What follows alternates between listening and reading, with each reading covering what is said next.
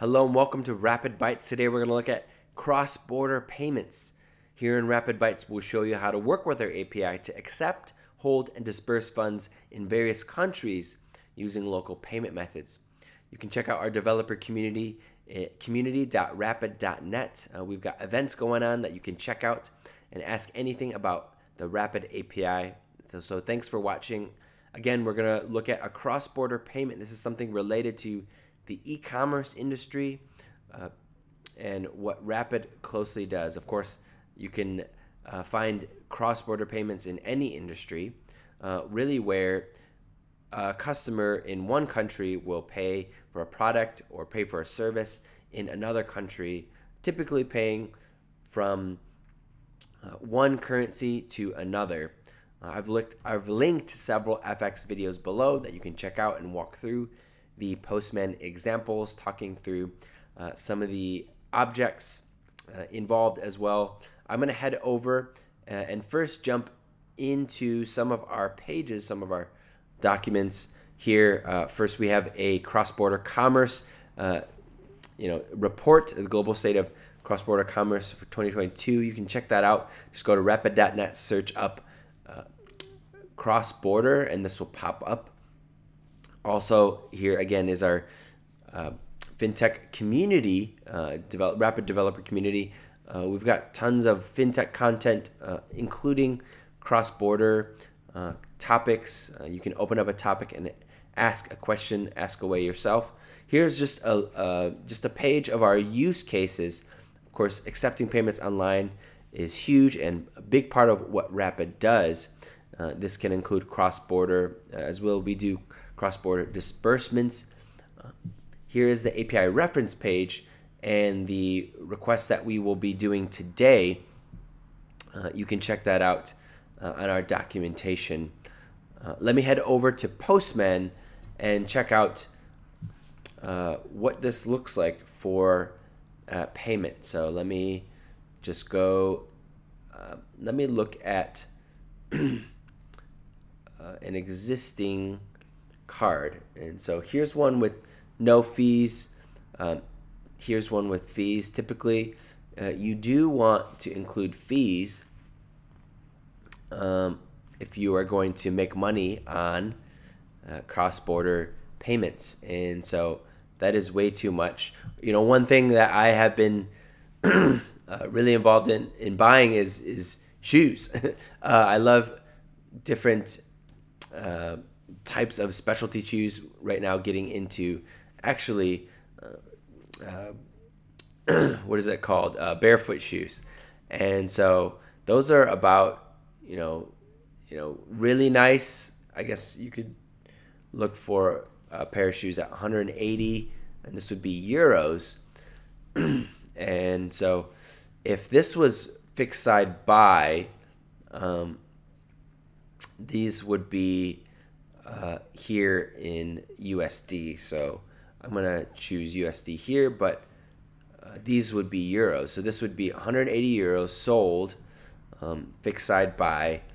Uh, and again, this means uh, that the customer is uh, basically paying in uh, in this currency. And so let me jump and change to a USD payment method. And so let's see if we can find on a card here.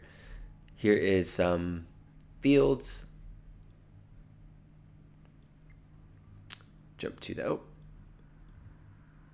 So uh, now here I'm posting uh, sandbox fields, uh, these test fields for a a sandbox uh, card payment, and let me jump to although this could be displayed in bank transfer, uh, but this is something that I literally did earlier today. So, so here we have the example now. We have the amount, uh, currencies in euros, requested currency, fixed side buy, um, uh, and then the expiration date. I think that should be good to go. Uh, let's just increase that just in case and then this will go to base 100% in this e-wallet. Uh, you could say this is the seller's wallet, these are the payment fees and FX fee that are being charged. So I'm gonna go ahead and send that. And looks like it went through. It is successful. Here's the payment ID you can use to retrieve it, the amount.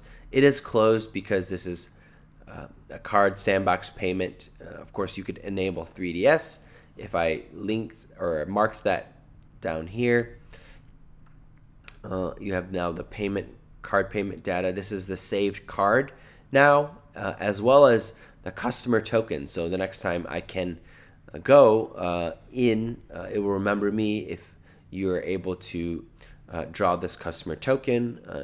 this this could incorporate into a flow of me saving my payment method. Also, you could write save card data.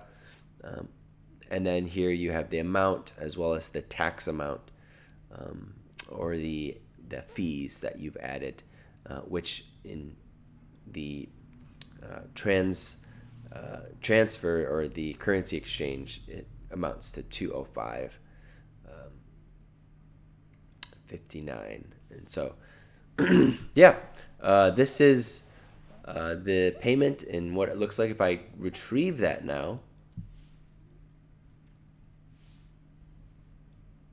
Retrieve, actually, oh,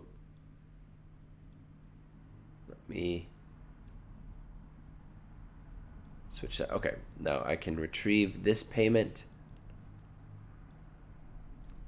Grab that right there. All right, looks like uh, this has been retrieved and now you see again the amount.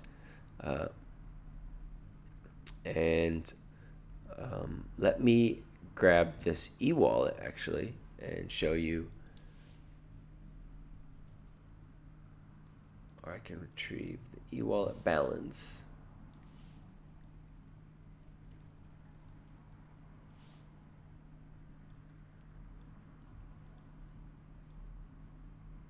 All right, and so now we see uh, this has multiple balances USD, Euros, uh, Great British Pounds.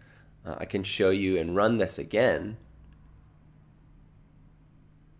Uh, 205.59. Um, and we could see here again in Euros, this went up uh, from the previous amount, 205.59. Um, awesome. So uh, yeah, we just walked through one simple payment and that would be an example of a cross-border payment with some fees added to it. Uh, the buyer paid in uh, USD and then it was uh, received, uh, it was presented to the buyer and then um, added to the wallet in euros, uh, which is right here. So um, awesome. So, um, yeah, uh, if you have any questions, feel free to comment below or, or, or go to community.rapyd.net. Thanks for watching. Have a great day.